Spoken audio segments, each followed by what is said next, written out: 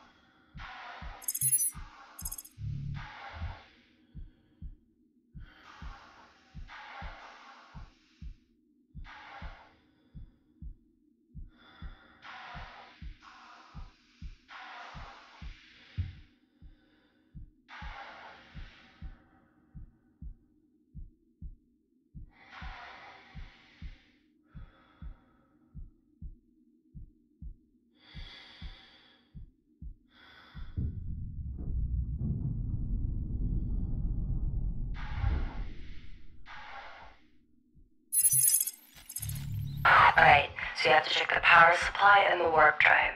Oh wait, but to gain access, you'll have to register first.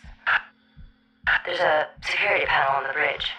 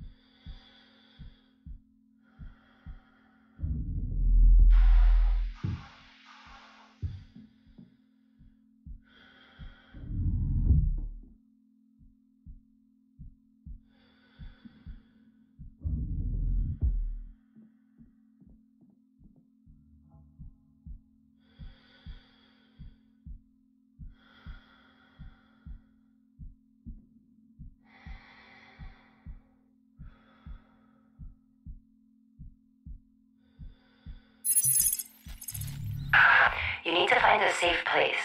Check the nav map, look for an outpost or something. Anything with a stable orbit will do.